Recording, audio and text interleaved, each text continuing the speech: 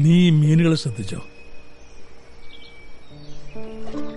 ഞാൻ ഓരോ തവണ ഇട്ട് കൊടുക്കുമ്പോഴും ഒരു സമയം ഒരു മീനിന് മാത്രമേ ഇത് കിട്ടുന്നുള്ളൂ. എന്ന് വെച്ച് ബാക്കിയുള്ള മീനുകളൊന്നും ശ്രമം ഉപേക്ഷിക്കുന്നില്ല.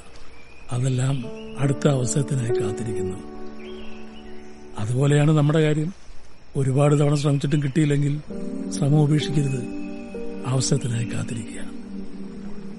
വിജയം ശ്രമിച്ചുകൊണ്ടിരിക്കുന്നവന് മാത്രമാണ്.